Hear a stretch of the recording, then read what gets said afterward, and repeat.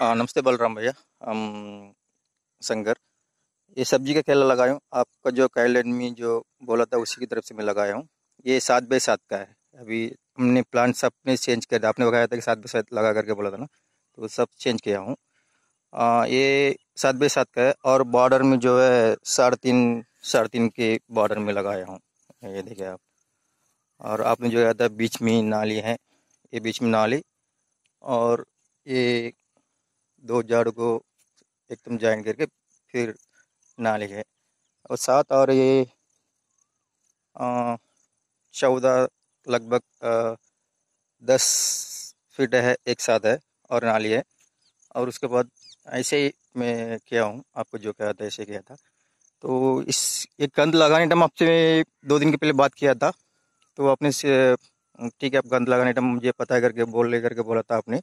तो उस टाइम हमें जो है उसमें वो एल के केले में बहुत सारा काम आया था वो बाम्बू लगाने का जार लगाने का तो उसमें हम बिज़ी है। तो इसके लिए हम इसको फ़ोटो वोटो कुछ लिखा है नहीं।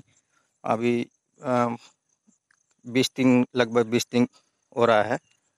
आ, इसको हम सब ये लॉकडाउन में भी तो हमें चना और मक्का कुछ मिल रहा नहीं था फिर भी हम ढूंढ के बाहर से ले लेके रखा है। जो हम सोचा थे कि वो एलची का केले का सब काम करने के बाद इसको, इसके बीज लगेगी तो हमारा आसानी से होगा करके सोचा था, लेकिन उसके पहले ऐसे हो गया। क्योंकि वो दो तीन का ही काम था तो तूफ़ान आके सब नुकसान कर दिया है। तो हम इसी, हम सब्ज़ी के केले में इसी का, हम B S P F S उसमें जोड़ने वाला है। तो हम अब ज़रा अब हमें सलाह दीजिएगा, हम आपको फॉलो करके ही, हम खेती करेंगे।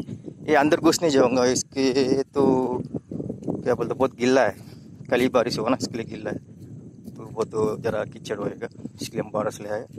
वो सूखने के बाद हम एकदम अच्छी तरह से हम आपको करवाएँगे, ओके?